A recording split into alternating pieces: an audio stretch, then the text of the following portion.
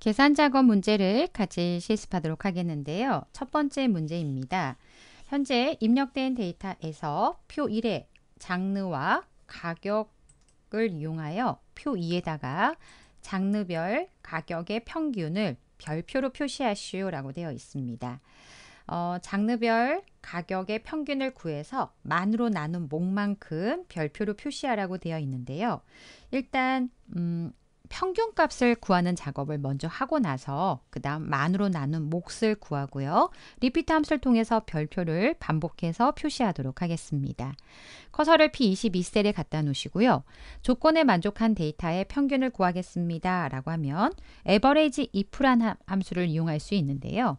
average if 함수 선택하시고 더블 클릭 안쪽에 필요한 인수는 함수 삽입을 이용해서 작성하신다면 첫 번째 range 어, 계산에 사용할 셀의 범위입니다. 라고 되어 있습니다. 이렇게 음, 주어진 조건에 따라 지정된 셀의 평균을 구한다 라는 함수 설명과 range는 계산에 사용할 셀 범위입니다. 라는 설명을 보실 수 있는데요. 첫 번째 range는 사실 음, 조건을 찾을 범위입니다. 그래서 조건은 어, 장르에 가서 뮤지컬입니까? 콘서트입니까? 라고 조건을 찾을 범위 커서를 갖다 놓으시고요. 장르가 입력된 A3부터 A18셀을 선택하시고 그 다음 수식을 복사할 건데요. 현재 선택할 영역은 수식을 복사하더라도 항상 같은 자리에 있습니다. F4 눌러서 절대 참조해 주시고요. 두 번째 조건입니다. 조건은 바로 왼쪽에 작성된 장르에 해당한이라고요. A22셀을 선택하시고 세 번째, 평균을 구할 범위입니다. 평균을 구하는데 사용할 실제 셀입니다. 라는 설명을 보실 수 있고요. 저희는 가격 VIP석의 가격에 대해서 평균을 구하겠습니다. 라고 어, 가격에 해당한 영역을 선택하는데 수식을 복사하더라도 항상 같은 자리입니다. F4 눌러서 절대 참조. 확인 버튼 누르시면 장르별 가격 VIP석의 가격의 평균을 구할 수가 있습니다. 이 값을 만으로 나눴을 때 몫을 좀 구하고자 하는데요.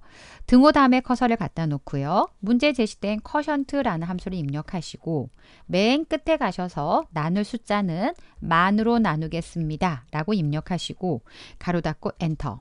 그러면 숫자 11이라고 구해지고요. 아래까지 수식을 복사하시면 몫을 구한 결과가 표시가 되어 있습니다. 다음은 repeat 함수를 통해서 조금 전에 구한 숫자만큼 별표를 반복하겠습니다. 라고 수식을 작성할 건데요. 첫 번째 텍스트는 큰 따옴표 묶어서 한글 자음에 미음을 입력하고 한자 키 눌러서 문제 제시된 별표는 어, 하얀색 별입니다. 7번에 해당한 별표 입력하시고 큰 따옴표 닫으셔서 쉼표 그 다음 어, 횟수는 조금 전에 커션트 함수를 통해서 몫을 구해놨습니다. 맨 끝에 가서 가로 닫고 엔터 눌러주시면 아까 구하신 개수만큼 별표를 반복해서 표시된 걸 확인할 수가 있습니다. 첫 번째 문제를 살펴보셨고요. 다음 두 번째 문제를 보도록 하겠는데요. 두 번째는 음, 표 1의 장르와 그 다음 지역을 이용해서 표 3에다가 어, 공연 횟수를 계산해서 표시하시오 라고 되어 있습니다. 지역별, 장르별 개수를 구하고자 합니다. 커서를 E22셀에 갖다 놓으시고요. 문제 제시된 함수를 이용해서 개수를 구할 건데요. 문제에 count란 함수가 제시가 되어 있고요. 가로 열고 if란 함수를 사용하겠습니다. 그 다음 배열 수식을 이용해서 작성할 건데요. 첫 번째 조건은 가로 열고 어, 장르에 해당한 데이터 A3부터 A18셀을 선택을 하는데 수식을 복사하더라도 항상 같은 자리를 참조할 겁니다. F4 눌러서 절대 참조하시고 그 값이 바로 왼쪽에 있는 값과 같습니까? D22, D23, D24, D열이라고 고정하는 작업이 필요합니다. F4를 한 번, 두 번, 세 번 눌러서 D열을 고정하신 다음 곱하기 두 번째 조건은 지역입니다. 지역의 데이터가 있는 C3부터 C18셀을 선택하고 F4 눌러서 절대 참조 그 값이 바로 위쪽에 클릭이 안 되는데요. 어, 이 20, 20셀을 선택하고 방향키 이용해서 이 21셀을 선택하겠습니다. F4를 한 번, 두 번 눌러서 21행을 고정합니다. 21행과 같습니까? 22, 20, 아, F21과 같습니까? G21과 같습니까? 21이라는 데이터가 공통적이라서 어, 행만을 고정하시고 그리고 나서 가로 닫습니다. 첫 번째 조건에 만족하고 두 번째 조건에 만족한다. 곱하기 연산자가 AND 역할을 하는 거고요. 심표. 그렇다면 조건에 만족하면 저희는 숫자 2를 반환하겠습니다. 라고 if에 음, 조건에 만족했을 때 결과에 2를 표시하겠습니다. if에 대한 괄호를 닫고요. 그럼 count는 조금 전에 반환된 1에 대한 개수를 구해서 몇 횟수를 표시하고자 합니다. 라고 어, 괄호 닫고요. 구하신 값에 어, 특정 어떤 텍스트를 붙이라고 표시가 안 되어 있네요. 그럼 여기까지 작성하신 다음 control shift enter 누르시고요. 아래까지 수식을 복사, 오른쪽으로 수식을 복사해 주시면 되겠습니다. 두 번째 계산 작업 문제를 살펴보셨고요. 다음은 세 번째 문제를 보겠습니다. 표 1에서 장르가 뮤지컬과 어, 클래식 무용의 최저 어, 가격 VIP석의 평균을 구하여 어, 표 4에 B28셀에다가 표시하라고 되어 있습니다. 최소값의 평균을 구하라고 되어 있는데요. 아, 일단 조건을 작성이 조건 작성이 필요할 것 같습니다. 장르가 음, 뮤지컬이라고 control C A22부터 A23을 선택하고 어, control C 복사하신 다음 A31셀에다가 control V 합니다. 두 번째, 장르가 클래식과 무용 A3, A2와 A7을 선택하고 control C 그 다음 B20, B31셀에다가 control V 합니다. 물론 직접 입력하셔도 되는데요. 직접 입력하시다 보면 오타가 생길 수 있어서 복사, 붙여넣기 활용하는 게 더 좋을 것 같고요. 그 다음 두 개, 장르가 뮤지컬에 해당한 데이터의 최소값, 가격의 최소값과 그 다음 어, 클래식 무용의 어, 가격의 최소값을 구해서 그 값의 평균을 구하고자 합니다. 그러면 먼저 평균을 구하겠습니다 하면 average 함수고요. 조건에 만족한 데이터의 최소값을 구하겠습니다 라고 하면 dmin이란 함수를 사용합니다.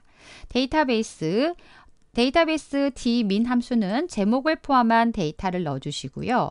수식을 복사할 게 아니기 때문에 F4 절대 참조는 생략하셔도 되고 쉼표 그 다음 저희는 가격에 대한 최소값을 구하겠습니다. 라고 가격이 있는 이 이셀을 선택하고 쉼표 첫 번째 조건은 장르가 뮤지컬이라고 선택하고 가로 닫으시면 어, 범위 정한 영역에 가서 2열에 가서 음, 평, 평, 저기 최소값을 구하는데 조건은 장르가 뮤지컬에 해당한 데이터에 최소값을 구하는 작업을 하셨습니다.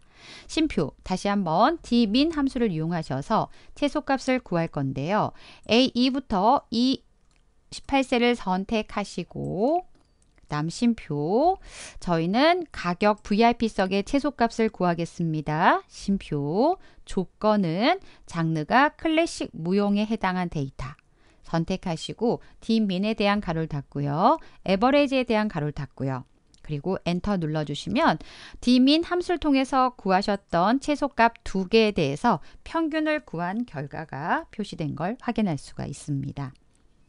다음은 네 번째 문제를 보도록 하겠는데요. 장르와 지역을 이용해서 표 5에다가 장르별, 지역별 VIP석 가격의 합계를 계산하라고 되어 있습니다. 등호 입력하시고 조건에 만족한 데이터의 평, 합계를 구하겠습니다. 썸이라고 입력하시고요. if 함수를 통해서 조건을 작성할 건데 if 가로 열고 첫 번째 조건을 작성하기 위해서 가로 열고요. 어, 장르에 가서 F4 절대 참조 그 값이 바로 왼쪽에 있는 데이터와 같습니까? D29, D30, D31 F4를 한 번, 두 번, 세 번 눌러서 D10을 고정하시고요. 곱하기 두 번째 조건을 작성하기 위해서 가로 열고 마찬가지로 지역에 해당한 데이터를 선택하시고 F4 눌러서 절대 참조. 그 값이 바로 위쪽에 있는 데이터와 같습니까? 라고 방향키 이용하셔도 되고요. E28, F28, G28. F4를 한 번, 두 번 눌러서요. 28행을 고정하시고요. 이 조건에 만족하면 저희는 가격 VIP석의 가격에 데이터를 가져오겠습니다. F4 눌러서 절대 참조. If에 대한 가로를 닫으시면 두 가지 조건에 모두 만족한 데이터에 VIP석의 가격을 가져왔고요. 썸에 대한 가로를 닫으시면 가져오신 가격에 대해서 합계를 구하겠습니다. 라고 수식을 작성하신 거고요. 배열 수식이니까 Control Shift Enter 눌러서 수식을 완성하신 다음 아래로 복사, 오른쪽으로 수식을 복사해 주시면 각각의 장르별, 지역별 어, 가격, VIP석 가격의 합계를 구할 수가 있습니다. 네 번째 문제까지 살펴보셨고요. 다음은 사용자 정의 함수 다섯 번째 문제를 보도록 하겠습니다. 커서를 F3에 갖다 놓고요. 개발 도구에 비주얼 베이직을 클릭하시고 삽입에 가셔서 모드를 클릭합니다. 문제에 제시된 사용자 정의 함수를 입력하시는데요. public function이라고 입력하시고 fn 어, 관람 연령이라고 입력하시고 입력받는 데이터는 공연 데이터를 입력받겠습니다. if 함수를 if문을 사용해서 잡수, 작성하실 건데요. if 만약에요. 어, 조금 전에 입력받았 입력받으신 공연의 데이터가요. 어, 공연의 마지막 두 글자가 13 이상이면이라고 작성할 겁니다. 그렇다면 어, 오른쪽에 두 글자를 추출하는 작업이 필요합니다. 우리는 RIGHT 함수를 이용하셔서 어, 입력받은 데이터에 RIGHT 공연 데이터를 입력받는데 오른쪽에 두 글자를 추출한 값이요. 크거나 같습니까? 문제에 나와 있는 13보다 크거나 같습니까? 그렇다면 then이라고 입력하시고요. 우리는 중학생 이상이라고 표시하겠습니다. 라고 F의 관람 연령에다가 중학생 이상이라고 표시할 거고요. 중학생 이상. 그렇지 않다면 다시 한번 else if 어, 마지막 두 글자가 8 이상입니까? 라고 조건을 작성할 건데요. 아까 쓰셨던 수식을 범위를 지정하셔서 컨트롤, 범위 정하신 다음 Control C, Control V 13 대신에 8로 수정하고요. 그럼 13보다 크거나 같지 않다면 다시 한번 8보다 크거나 같습니까?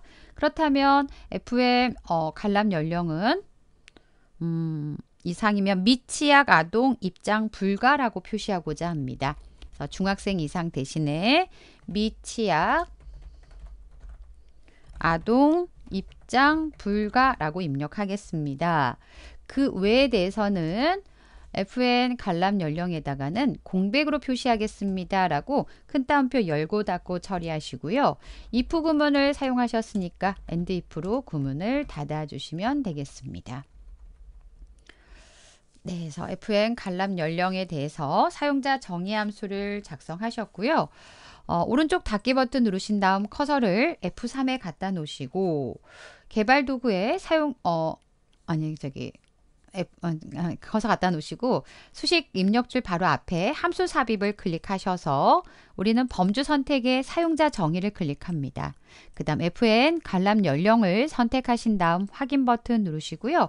입력받은 데이터는 공연이라고 되어 있는 어, B3셀을 선택하시고 그리고 나서 확인 버튼 아래까지 수식을 복사하시면 네, 공연 필드에 가서 오른쪽에 두 글자를 추출한 데이터가 13보다 크거나 같다면 중학생 이상, 8보다 크거나 같다면 미취학 아동 입장 불가, 나머지는 공백으로 표시된 걸 확인할 수가 있습니다. 다섯 문항의 계산 작업 문제를 같이 살펴보셨습니다.